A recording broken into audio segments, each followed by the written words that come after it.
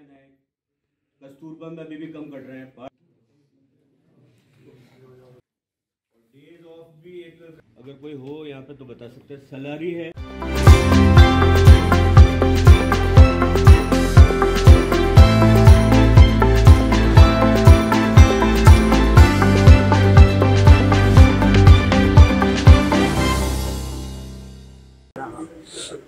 आज जो प्रधानमंत्री सुरक्षित मातृत्व दिवस का आयोजन प्रत्येक तारीख, महीने की नौ तारीख को आयोजित किया जाता है, जिसमें जितनी भी गर्भवती महिलाएँ हैं, उनको सर्विसेज़ देने के लिए पीएससी पर बुलाया जाता है, उसमें विशेषज्ञ सेवाएँ उनको दी जाती है। तो जो सेवाएँ उनको दी गई है, उसके आधार पर रैंकिंग की गई थी, जिसमें पूरे ज़िले में जो सर्वश्रेष्ठ कार्य करने वाली संस्थाएँ हैं, उनको पुरस्कार दिया गया है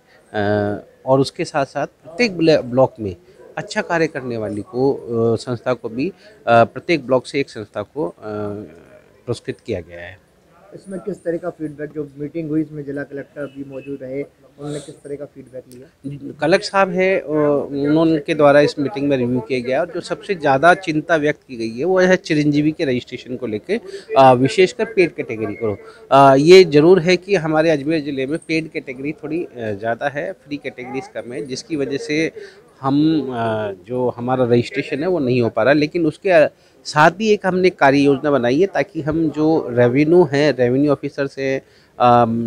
पटवारी है सरपंच है, जनप्रतिनिधि है, उनको साथ लेकर हम स्ट्रेटेजी वाइज हर ब्लॉक से एक या दो पंचायतों को चिरंजीवी पंचायत बनाएँगे जिसमें सभी परिवार उसमें जुड़े हुए हो और धीरे धीरे करके हम सभी जो पंचायतें हैं उनको चिरंजीवी पंचायत बनाएँगे। दवाओं की उपलब्धता और कोई आ, दवाओं की उपलब्धता के लिए जो हमारी रैंकिंग है और हमारी जो पॉइंट्स है डेफिनेटली हमने रेगुलरली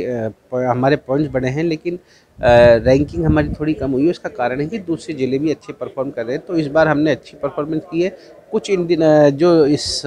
हिस्से हैं जहाँ पर हमारी परफॉर्मेंस पे हमारी थोड़ी गुंजाइश है, उसको आइडेंटिफाई करके सेक्टर वाइज हमने आइडेंटिफाई करके आज सभी सेक्टर्स को हमने मीटिंग में बता दिया है और ब्लॉक स्कीम में उसको पाबंद कर दिया है कि उस पर कार्य करके ज़िले की रैंकिंग बेहतर हो इस पर कार्य करें।